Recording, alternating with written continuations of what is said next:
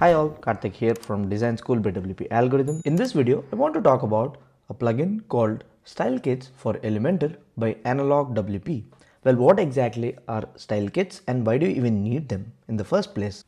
Well, Style Kits is a free plugin that you can find in the WordPress repository. Just search for Style Kits and it's this one by Analog WP. Install activated. What exactly are global styles and why do you need them? When you're working with Elementor, few tasks get repetitive. So, so if I drag in a heading widget, did you ever wish that you can set a default font size and a color to the headings that you drag? And this applies to each and every widget. Did you ever wish that you could change the hover color and the normal color of a button when you drag it? This can be done to some extent by using your themes. But again, if you change your theme, all your changes are gone. And this will require you to disable Elementor options in order to make this work. Well, what if we can have a global styling system that will define styles such as font size, font family, button hover color, button background color, and even column gap globally. By globally, I'll explain what it is in a bit, but what if you could just have the styles work out of the box? So as soon as you drag a widget, what if you can get the styles defined? Or what if we can have something defined in order to make this work automatically without you having to go to style tab and changing all the colors manually. This is more of a time saver rather than groundbreaking feature. Anyway, this is style kits and this is how it works. So once you install style kits, you can go back to your admin dashboard. There you'll find something called style kits. So you can click on templates or library and it will take you to this splash screen. So you can click on style kits and you have few styles defined here.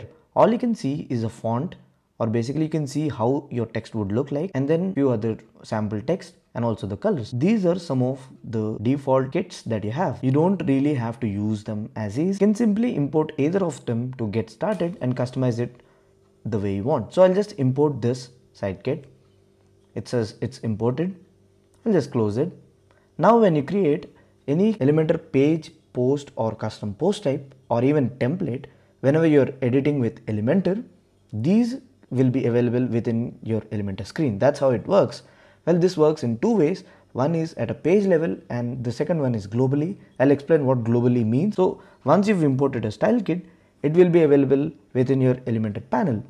So I'll just create a new page and then I'll click on edit with Elementor and I'll explain how this works. These default style kits are just a starting point and you can view all the installed style kits or imported site kits by clicking on this manage style kits button. So you can now see that I have click installed on my particular website. I'll go to my Elementor page. You can basically go to any Elementor page, post or even a template or even a custom post type. It doesn't matter. So you can click on the settings cog and at page level under style tab, you'll now find all the settings for your style kits. So here on my new page, I just have a button. I just have a heading I also have a text editor widget dragged in and you can see that there are a few default styles which are being applied. So when I click on settings, go to style tab. When I select click, all the styles are clearly applied to this. You can obviously change this. Let's go to body typography. I'll click on this. I'll change the family to maybe this and you can obviously see the particular text being reflected here. Let me also increase the text size and you can see that the text editor widget which has the body text automatically changes based on the settings that we make here. And this applies to any widget with text in it. So let's also drag in a tabs widget and even here you can see the changes that we make from the style kit menu. I'll go to body typography again. I'll change this to a different font. And you can see both the text editor widget and also the text within the tabs widget. And even the tab title changes to the font that we just changed. I'll just bring that back to overlock which looks a bit readable. And you can customize each aspect of your style kit. Let me also customize the heading font.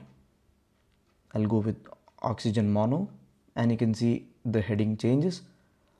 I can also set a different font size and each everything for h1 h2 h3 till h6 you can also choose a font size for XXL when you click on this and when you go to the content tab you have size option for your headings you can select small medium large XL XXL you can also customize these values using the style kits. So that's what this does.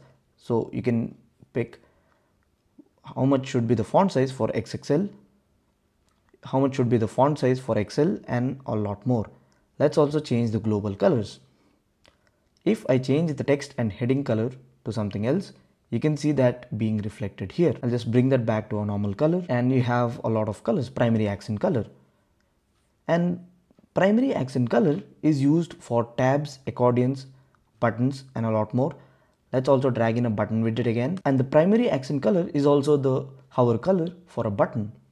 So that's how all the settings that you make, all the changes that you make in the style kit are affected.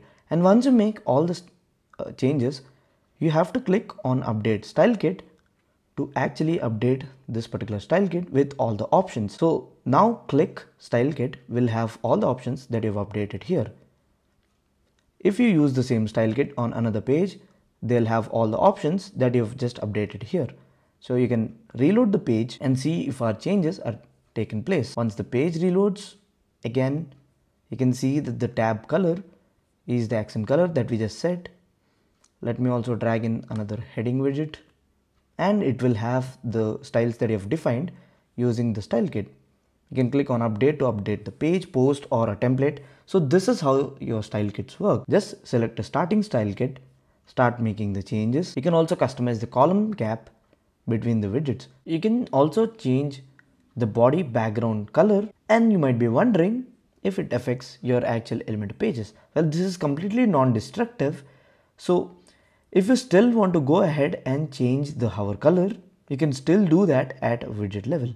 So if I change it to red hover color, you can see that the style kit can easily be overridden at widget level. The main use of style kit is to have defaults for everything, for every widget, section and a column. And the settings within the style kits also include body style. So you can set a background for a page. So whenever you choose the style kit. Whenever you choose a particular style kit on any page post or a custom post type or a template all the styles or all the settings defined within this will automatically apply to that particular page. You don't have to do the repetitive tasks again. So that's the reason why you need to use style kits. Also there's no real way to change global colors. Of course you can set your default color palette and then there are something called light background and dark background in CSS. I'll show that in a bit. You can basically put the class name and this particular color will be applied to things that you that have this class name. We'll get to that in a bit. So you can also do uh, button styling using this. So you can change the XS preset defined in Elementor. So you can change the typography for XS preset, for small preset and for various things or for various button presets you can change all the types of things that you want there's also something called column gap so here you can set the space with, between widgets which is set at in the WordPress dashboard. You can also override that using a style kit and there is something called outer section padding. This is a setting unique to this particular plugin. So let's see what it does. So let's go to column gap and let's actually change the column gap to maybe 100 and you can see that all the columns will have 100 pixels padding. If we change it to 20, it has 20 and then there are few names called default padding, narrow padding, extended padding, wide padding and a lot more. So you can change these values or a section and here you can find the outer section padding option. So here you'll find normal, small, medium and these are the presets defined by the style kit itself. So click on settings cog, go to style kit. You also need to update your style kit to make sure that all these changes are saved in this preset.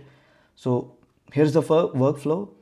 You import your style kit with an option. There are few default options. You just import them and within the page, within the drop down, you just select one of them and then you customize each of them to your needs.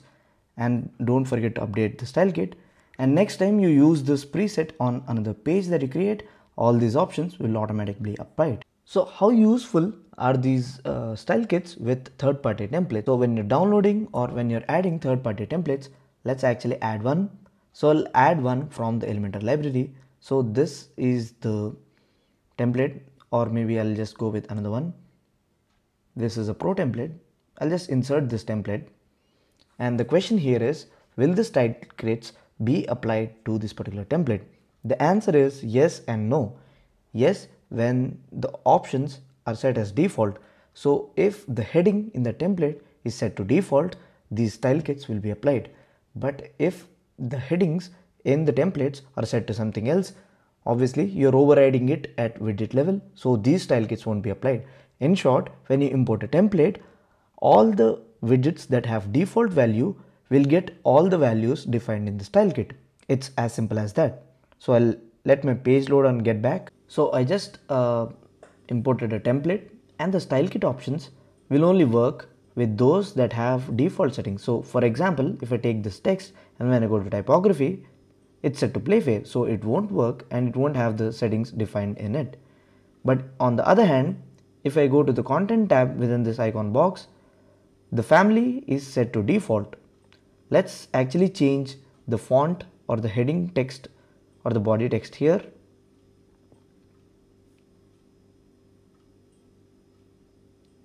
and you can see that being reflected here. This is actually a template but the style kit settings will work with this because the value of this particular heading is set to default in the typography tab. So whenever you're working with templates, these style kit tabs or these style kit options will be applied to those that have default values in them. So make sure when you're working with templates, if you want a different font, make sure you're overriding that. If you want a different icon color for it so they've set a primary color. If you override this at a widget level this won't have the options or this won't be affected by the options set in the style kit. But when you drag in a new widget so let's drag in an icon widget. I'll just drag it over here and it'll have the options set in the style kit so that's how style kit works so you can also save the style kit as your own one. So instead of making changes to the original demo that you imported, you can make a couple of changes. So let's actually do that. I'll go to body typography. I'll click on this and without overriding the original one, let's pick this one. Let's also change the heading sizes a bit or maybe heading typography a bit. So instead of overpass mono, I'll just select oxygen mono Let's click on style kit. I'll click on save as and I'll just give this style kit my SK1. So when you do that, it'll also be available as a preset that can be selected from within the drop down menu. Let's go back, click on style and here you'll find my style kit 1. It's as if you've downloaded a new preset. So you can make number of changes to the original preset and save them as copies by using the save as button. What exactly is global style? And there's one more thing to note. Updating this Elementor template won't change your style kits. You have to manually update your style kits by clicking on update style kit. So that's one thing to note here. And if you're not really happy with all the changes that you've made in the style kit, and if you want to set all the settings or changes that you made in the page to the defaults, can click on tools and click on reset all. And when you do that, all the items are then brought back to the default settings. So these may be inherited from your theme or these may be the defaults defined in your Elementor. So if you want, don't want to make or if you want to revert back to the original changes or original settings without actually using the style kit, you can simply click on reset all and that'll remove the style kit from this particular page. You can now start fresh or if you want you can simply pick the preset again and all those changes are brought back. If you don't want those changes go to tools and simply reset all. You can also export these changes as css i'll get to that in a bit. But first let me explain the global styles. Well this is all happening at a page level right so when you select a style kit you can obviously update the preset but what if you want to have the style kit consistent across your website. So let's say I select my SK1 and what if I want to make a change here and what if I want the change to be made across my website wherever this style kit is used. So if I create a new page called style kit 2 and if I use this preset there as well, what if I can make the change here and also the changes should be updated there. So that's the reason why you should select global style kit. I'll make this my SK1 preset a global style kit so if I click on that, I'm brought back to the dashboard where you can set it as global. I'll select my SK1. I'll click on save changes. Let's create a new page and we'll select the preset and I'll show you what that is. I'll click on add new. I'll create a new page and add a couple of things or maybe import a template. I'll just call this page my SK2. I'll publish this page. I'll edit with Elementor. Now this page loads. I'll put these two pages next to each other so these are the heading text and the icon colors let me also drag in okay let's drag in a heading over here so this has the default font I'll click on this and it obviously selected my global style kit by default so let's say I just want to change the font size and also the color over here I'll do that I'll go to style kit since it's global if I change the things here it will also be updated here let's do that I'll go to headings typography. I'll change it from oxygen mono to this. Let's also change the global colors. So if I change the text and heading color to maybe this one, I'll click on style kit and update the style kit here. I'll click on yes and that would re re reload the page. Now when I update the page, and apply changes, it automatically detects all the changes and applies them. That's because we've used this MySK1 which is a global style kit. So the main use of global style, style kits is to make changes dynamically and also whenever you create a new page, this global style kit is automatically applied. Unlike normal style kits, you have to pick them from the style tab of a page, post or a custom post type. If you define a global style kit, it will automatically be applied at that page level. Or you can obviously clear out the global style kit by using the reset all options. But global style kit will apply the style kit by default whereas your normal style kits if you have not set any global style kit you have to manually pick the style kit from the drop down over here. So just like that you can pick any of the presets that you want.